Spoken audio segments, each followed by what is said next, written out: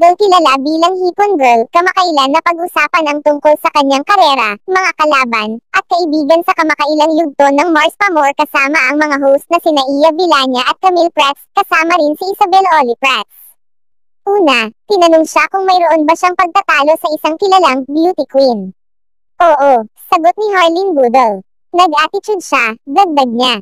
Matatanda ang Anhipon Girl at Miss Universe Philippines 2020 Miss Manila Alexandra Abdon kamakailan ay nagkaroon ng alitan na nagsimula sa hindi pagkakasundo sa isang photoshoot.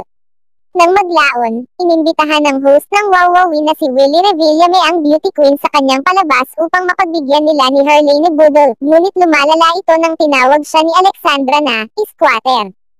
Susunod, tinanong siya kung handa siyang tanggapin ang mga mapangahas na papel sa pelikula o serye sa hinaharap. Hindi nagpakita ng takot si Herlene sa pagiging matapang at matapang sa harap ng kamera. Tatanggapin ko kasi gusto ko pong mas maraming masubukan, na ma-experience natin lahat.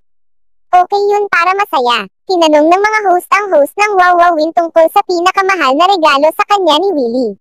Ngunit sa halip na isang material na bagay, isiniwalat ni Herlene na ito ay isang bagay na mas sentimental.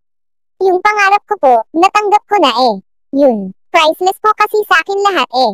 Yung mga perang binibigay niya sa akin, mas worth it po yung binigyan niya ko ng chansang mapunta po doon sa kanya po. Okay na po sa akin yun. Yun na po yung pinakamalupit. Inihayag din niya ang pinakamahal na bagay na binili niya para sa kanyang sarili pagkatapos ng pagtaas ng kanyang pagiging stardom sa Wawawin.